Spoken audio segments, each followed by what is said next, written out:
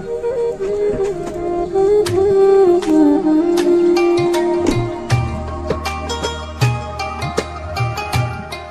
Aslam viewers welcome back to joke masala channel कैसे हैं आप सब लोग? उम्मीद करती हूँ सब खैरियत से होंगे ठीक ठाक होंगे।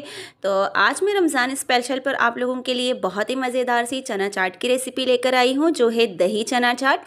बहुत ही मज़ेदार बनती है ये रेसिपी तो आपने इस रमज़ान में इस रेसिपी को ट्राई ज़रूर करना है। तो चलिए आइए इस मज़ेदार रेसिपी को बनाना स्टार्ट करते हैं। तो यहाँ पर मेरे पास है तीन कप बॉयल किए हुए चने। तो ये एक बड़े बॉल में ट्रांसफ़र कर देंगे। चने आपके बहुत ही अच्छे से बॉईल होने चाहिए और साथ ही इसमें हम ये आलू ऐड कर लेंगे। दो आलू मैंने लिए थे, छिलको समेत मैंने बॉईल कर लिया था और बाद में छिलके हटाकर मैंने क्यूब्स में कट कर लिए हैं।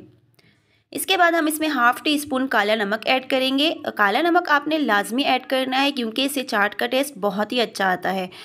इसके बाद हम इसमें ऐड कर देंगे one four teaspoon regular नमक। साथ ही इसमें ऐड कर देंगे हाफ़ टी स्पून कुटा हुआ ज़ीरा है। आपके पास पिसा हुआ हो, वो भी आप ऐड कर लें। ये चाट इतनी मज़ेदार बनती है, आप यकीन माने एक बार आप ट्राई कर लें तो आपके घर वाले बहुत पसंद करेंगे। अब इसमें ऐड कर देंगे वन फोर टी स्पून लाल मिर्च powder, one four teaspoon कुटी हुई लाल मिर्च। अब इसमें हम प्याज ऐड कर लेंगे। और ये मैंने एक बड़े साइज़ की प्याज ली थी, जिन्हें मैंने इस तरह से स्लाइसिस में कटिंग कर लिया है। ये सारा प्याज ऐड कर लेंगे।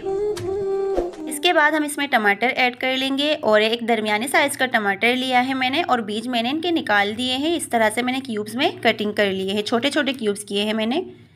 इसके बाद हम इसमें हरी मिर्च ऐड कर देंगे और ये बड़ी वाली हरी मिर्च मैं ऐड कर रही हूँ। आप चाहे छोटी वाली भी ऐड कर सकते हैं, लेकिन वो तेज़ होती हैं, इसलिए मैं बड़ी वाली ऐड कर रही हूँ। इसके बाद हम इसमें एक टेबल स्पून पुदीना ऐड करेंगे। इससे टेस्ट बहुत अच्छा आता है पुदीना से। और साथ ही इसमें हम ऐड कर लेंगे कटा हुआ हरा धनिया और ये तकरीबन टू टेबल स्पून के करीब है। तो ये सारी चीज़ें ऐड करने के बाद हम इनको अच्छे से मिक्स कर लेंगे। आपने इस रमज़ान में इस रेसिपी को ट्राई ज़रूर करना है और आप सबसे रिक्वेस्ट है, अगर आप चैनल पर नए देखने वाले हैं तो चैनल को ज़रूर सब्सक्राइब करें और बेल आइकॉन को भी ज़रूर प्रेस कर लें। मेरी वीडियोस अच्छी लगती हैं तो लाइक करें और शेयर भी ज़रूर करें।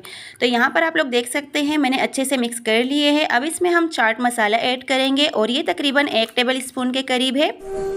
चाट मसाला ऐड करने के बाद हम दोबारा से इनको अच्छे से मिक्स कर लेंगे। तो मैंने चाट की बहुत ही अच्छे से मिक्सिंग कर ली है और सेट कर लिए है मैंने। इसके बाद हम इसमें दही ऐड कर लेंगे और ये दही मेरे पास तकरीबन हाफ़ के जी के करीब है। दही को मैंने अच्छे से फेंट लिया है, इसमें मैंने पानी या नमक वगैरह कुछ भी शामिल नहीं किया, ना ही मैंने इसमें चीनी शामिल की है।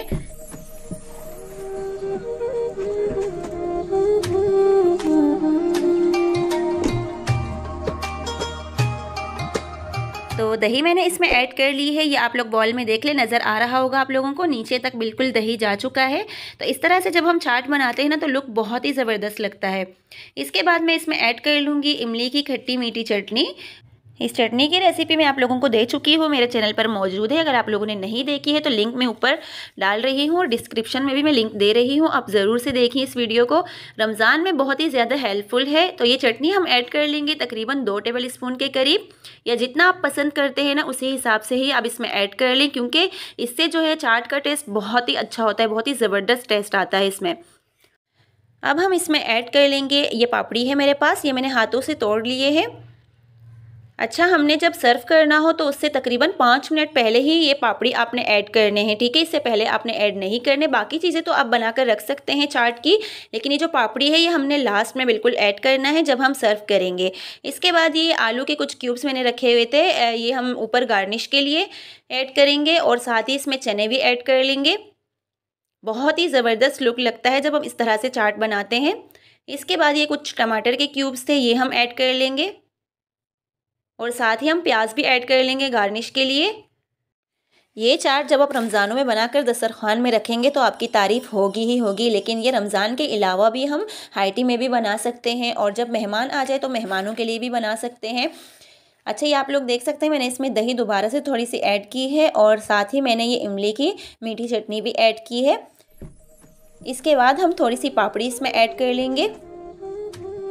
इस तरह से जब हम ए, मतलब सर्व करेंगे तो बहुत ही ज़बरदस्त लुक लगता है और खाने वालों को भी बहुत ही ज़्यादा मज़ा आ जाता है।